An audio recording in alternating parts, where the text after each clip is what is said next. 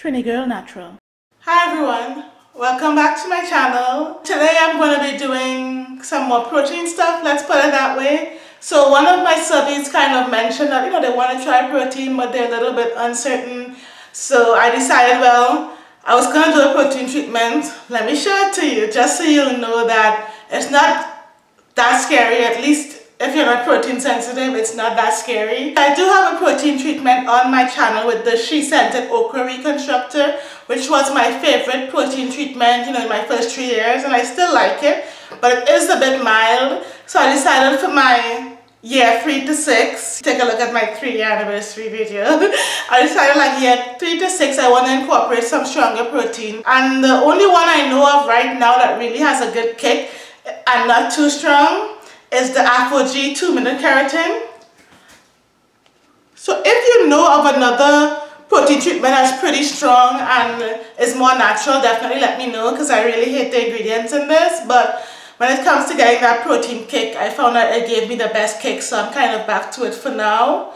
I still will use the Okra Reconstructor, but I'll probably use the ApHogee every, at least every four months, and maybe use the Okra Reconstructor once in between that. So that's the plan anyway. So I decided let me come on and show you the ApHogee because this is more readily available. And you can see that nothing big happened. My curls did get a lot tighter. You can see the shrinkage is real, which I don't mind because it's like healthy. I'm not sure if it's like the trim, the protein treatment or the deep conditioner that I used because I used this new deep conditioner I'm also trying for the first time.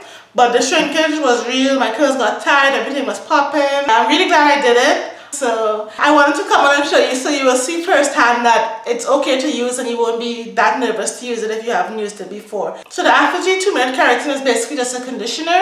I'm going to show you my demo how I use it but my hair isn't completely hard or dried out or anything. It's not hard at all after the protein treatment. But considering that I just shampooed and I did a protein treatment, I always like to follow it up with a deep conditioner which you'll see. Let me start with the conditioner because I guess that's what we're all here for. So why do I love this conditioner, the protein kick? Why am I not in love with it? The ingredients read like curly girl method hell, basically, if you can see that. I mean, it has pretty much everything you don't want. It has mineral oil, it has silicones, it has petroleum or petrolatum, it has polyquats, DMDM and EDTA, which I also use. So it's like hell in a bottle, but it's not that bad in terms of actually applying it because it doesn't dry out your hair and it does have decent slip as you'll see. So I think I can do this every four months and I think my hair overall will be will benefit from it. And if you're somebody, you're low porosity, maybe your hair isn't chemically treated, maybe you use heat occasionally, you can definitely give this a try. You don't have to live with breakage. If you're seeing like a little bit of breakage, definitely give this a try and change your life. you're welcome. Other than the ingredients, I do like it. Of course, I can't just mention this and not come back to it. I was super excited to try this.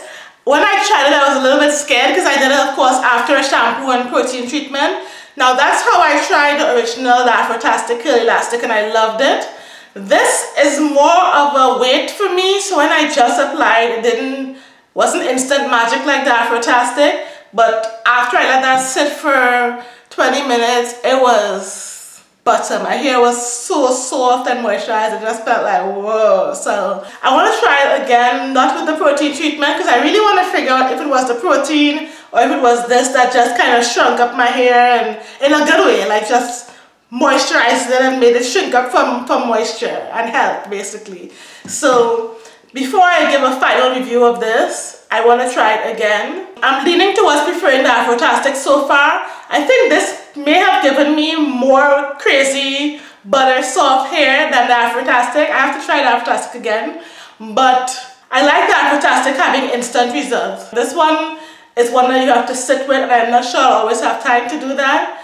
And even though my hair felt really soft, I want to say I feel like Afrotastic is more moisturizing, but I don't want to just say that because I'm not sure. I have to try them both again. So I'll get back to you with a final review on this. Definitely, I think the SheScentIt Rich Moisture Mask is still my number one. Right now, the Afrotastic is still my number two.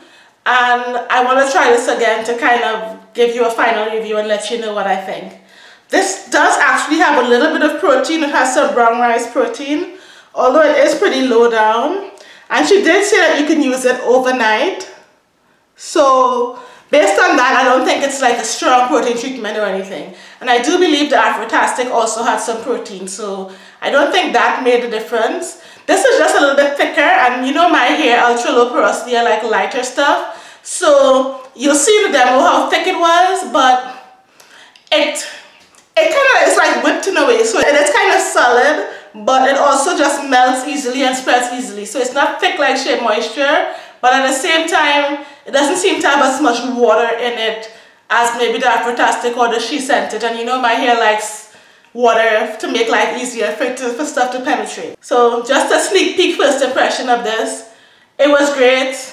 Maybe not the super best for my hair, but it made me go, wow, this is amazing. And I, I love how my hair felt. Like, so confused right here. So I'll come back to this in a future video. You did see me briefly talk about this shampoo. So I'm just going to show it to you. So I've had this for a while as you can see because I don't use shampoos often and you can see it's kind of low for a shampoo, low down I mean, almost done. I, I really like it. I might even just repurchase it because it's really done me well. The ingredients are very interesting as well and if you can see that. The first ingredient it mentions is comfrey. Then it has like arnica, then shea butter, then it has like the surfactants. Then it has like magnesium sulfate and coconut oil and some raspberry fruit extract and stuff at the end. So it is an interesting formulation and it is a good shampoo. It doesn't strip my hair unless I do like what I did in this video. like how I use it normally with just putting a squirt into an applicator bottle of water doesn't strip my hair at all. This time I was like pouring it on by the handful and like I actually raked down my hair and everything. So that was more clarifying but it can also be mild if you just use a little bit. I didn't think I was going to repurchase this. I kept saying, ah, I'm not going to repurchase this, but now that I'm getting to the end of it, and I haven't found a shampoo I like better, I just might get another one. Okay, so that was pretty much it in terms of talking about the products. Take a look at the demo to see how I applied it, to see that I actually survived using shampoo. I survived using ApHogee. My hair, you know, is very happy today. I start off with shampooing my hair. I have that pinky curly shampoo which I planned to make my clarifying shampoo but it sucks. So I'm back to using the beautiful curl shampoo which I like. So here we go. so I put way too much shampoo. I guess it foamed up extra. I don't know. My hair is thick. I don't know. Thick hair problems. At least it's clarified at the end. So the, the goal here is to clarify my scalp and clarify my hair. So that's why you see me, you know, I focus on my scalp and turn into a big suds ball. and then I work it down my strands to just make sure my strands are free of any debris because the protein is supposed to penetrate the strands. So then I rinse the shampoo and the shampoo is actually so good that after rinsing, my hair still looks good uh, and it's not completely frizzed out, which is saying a lot about that shampoo. Then I apply my tea treatment to my scalp and you can see that I massage it into my scalp to really get that tea into the scalp because that's where the tea really does the most good, affecting your follicles directly. Then without rinsing it, I apply the protein treatment on top of the tea. So you'll just see me work it in. This protein treatment is actually decent in terms of slip and moisture. It's not the best, but you know, it's not horrible. My hair isn't hard or anything after it. So I just work in a protein conditioner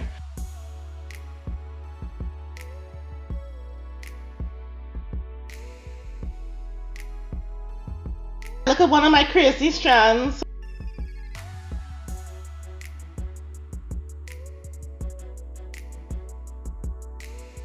After that, I let the protein treatment sit for 20 minutes. Of course, the tea is still in the scalp. I have to use two shower caps, at least, with my hair being puffy. And this is the result. So, my hair looks pretty good. It feels pretty good. So, no complaints there. It is actually somewhat moisturized and everything. It's not a bad treatment at all.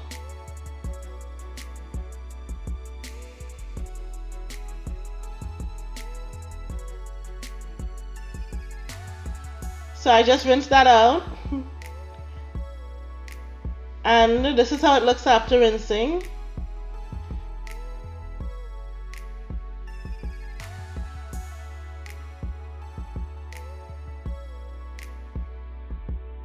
Now I'm going to follow up with my deep conditioner. The Sultana Curls Fro Despair Repair. Um, it has a pump and I don't understand that pump isn't very thick hair friendly so I took it out at first and just squeezed it and yes that does look like what it looks like. But you can see that even though it looks really thick it really melts into my hair. It is kind of a whipped consistency so it's solid or it's thick but it's not heavy. So you can see it just kind of melting into my hair.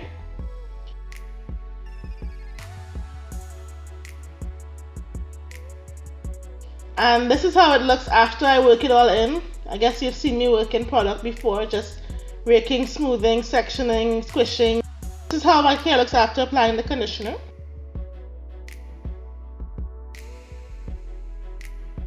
so at first I wasn't all that impressed it was just okay But after I let it sit for a while, like 20 minutes, my hair felt like butter. So it was pretty amazing. So this is my yeah girl. It actually was good face. I like a deep conditioner in the end.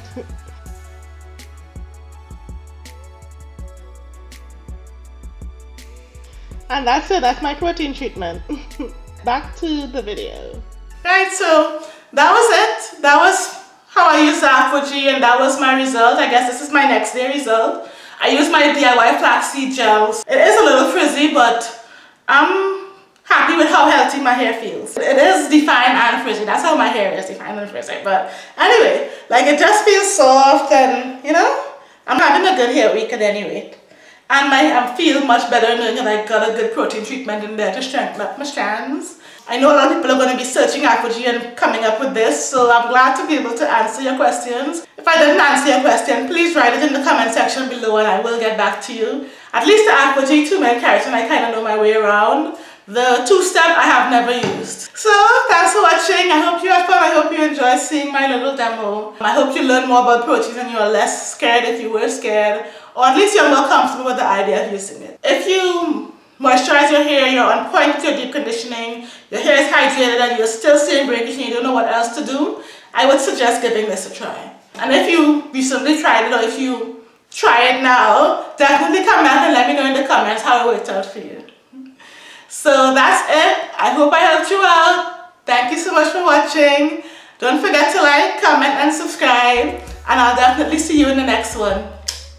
Bye!